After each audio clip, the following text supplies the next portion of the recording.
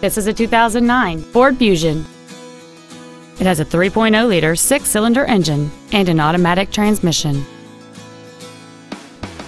Its top features include a double wishbone independent front suspension, a low tire pressure indicator, Sirius satellite radio, aluminum wheels, and a sunroof enables you to fill the cabin with fresh air at the push of a button.